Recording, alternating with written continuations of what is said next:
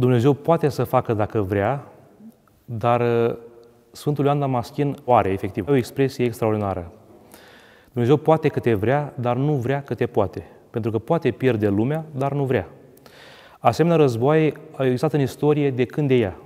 Inclusiv în timpul lui Hristos era Imperiul Roman și existau fel de fel de lupte. După Hristos știm clar, Vespasian și Titus au venit în Ierusalim, au cucerit, au ras, au arat cu plugul, au distrus tot. Problema este că toate sistemele filozofice ale, care au existat în istoria lumii, toate imperiile care s-au conturat, s-au format prin străduințe omenești, fiind produsul minții omenești, ca și mintea omenească, sunt limitate, relative, trecătoare.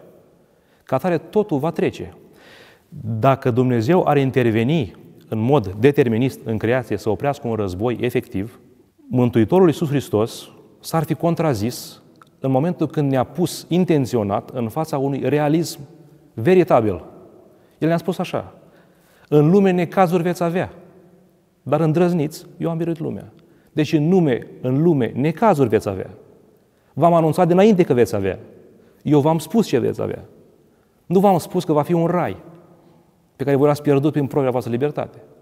Ca atare, dacă v-am spus că în lume necazuri veți avea, înseamnă că necazurile fac parte din modul în care eu am ales să vă mântuiesc.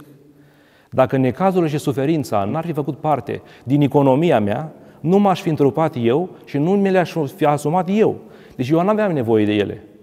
Dacă Hristos și le-a asumat și a suferit, nu e clar că trebuie să sufăr și eu? Dacă Dumnezeu îngăduie, știți, suferința nu e o condiție a mântuirii. Nu trebuie să o cauți, nu trebuie să te automartirizezi, să strigi în gura mare, cine mă martirizează și pe mine, că vreau să fiu și eu martir. Martirii nu au făcut lucrurile astea.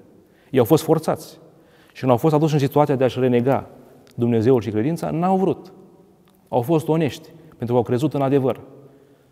În frunte cu apostolii, cu ucenicii și cu toți martirii neamului și ai lumii, cu toți au conștientizat un lucru extraordinar.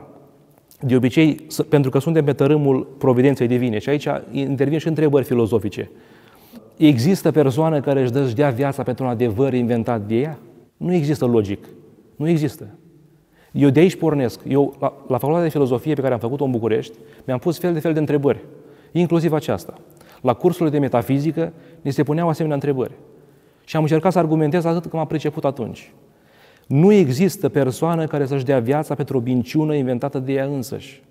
Hristos n-a făcut lucrul ăsta. Apostolii cu toții știau. N-au improvizat nimic, n-au inventat nimic. Nu e nicio minciună. Nicăieri nu e nicio minciună. Nu există niciun adevăr sau părți din adevăr, deși adevărul e unic și absolut, nu se poate divide.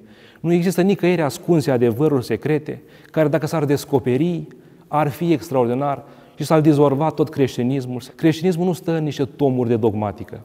Vă amintiți că Hristos n-a lăsat nimic scris. El doar a vorbit. A lăsat puterea cuvântului. Creștinismul stă în sămânța martirilor, spunea Tertulian.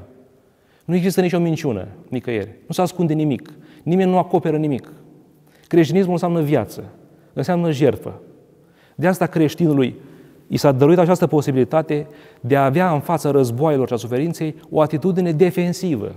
Dar nu înseamnă lașitate. Defensivă înseamnă ca ciobanul de Miorița, care și-a pregătit mormântul nu pentru că n-a fost în stare să pună mâna pe o armă și să lupte, ci pentru că el era perfect conștient de existența lui Hristos în lume.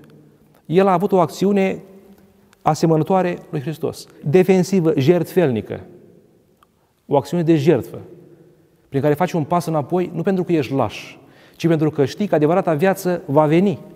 Asta e o pseudo-viață.